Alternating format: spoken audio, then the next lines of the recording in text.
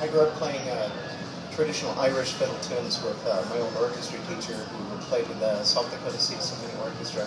Um, with that, uh, I grew into uh, learning to play with various ceilidh bands and bluegrass groups throughout South Dakota and that kind of thing. And uh, the fun thing is, is uh, the tradition passes from, from generation to generation with a lot of the Appalachian tunes and the traditional Irish tunes that, uh, especially some of the obscure tunes that uh, you might not hear every day, but uh, you'll hear like in uh, session groups and that kind of thing. But uh, the tune I'll play today is called Banished Misfortune, and I learned that a lot in my various travels throughout various ceilidh bands and bluegrass groups.